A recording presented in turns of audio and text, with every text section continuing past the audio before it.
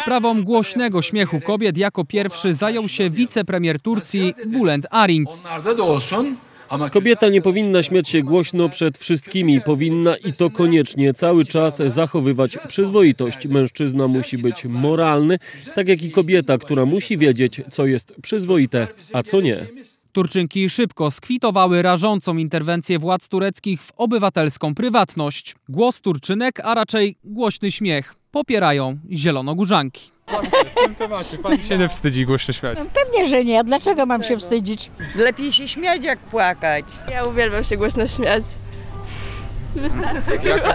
Każdy chyba lubi głośny śmiech kobiety, każdy mężczyzna, także myślę, że to troszkę takie nie na miejscu było. A jak ten temat trafił na usta zielonogórzan, radny Mirosław Bukiewicz podczas wtorkowej sesji Rady Miasta pytał prezydenta, czy zgodnie z zasadą wzorowania się na prosperującej Turcji popiera słowa wicepremiera Arinca. Myślę, że każdy będzie wiedział, o jakie państwo tutaj chodzi. Y, Uznano, przynajmniej wicepremier tego kraju uznał, że śmiech kobiety jest nieprzyzwoity.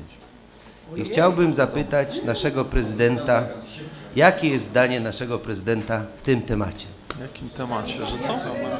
Prezydent odpowiedzi nie udzielił, ale będzie musiał to uczynić, bo pytanie padło w oficjalnej części sesji. Głos zabrali za to pozostali radni, których na początku ogarnęła konsternacja, szczególnie męskiej części Rady Miejskiej. Uśmiech kobiety nie przeszkadza, wręcz przeciwnie. Ja osobiście bardzo lubię uśmiechające się kobiety, dlatego że to świadczy o tym, że ktoś jest szczęśliwy, a e, rolą radnych jest takie prowadzenie miasta, żeby wszyscy byli szczęśliwi, żeby ulice miasta były zapełnione uśmiechającymi się kobietami. W moim przekonaniu każdy powinien się uśmiechać. E, Nawet kiedy ma jakąś trudność, e, problem, warto porozmawiać z kimś innym. Ten, e, ta radość i ten uśmiech może powrócić na mm, twarzy każdego człowieka. Zdanie radnych popiera również Marek Jankowski, który dziś włączył się do akcji Ice Bucket Challenge, wspierając chorującego Kacpra.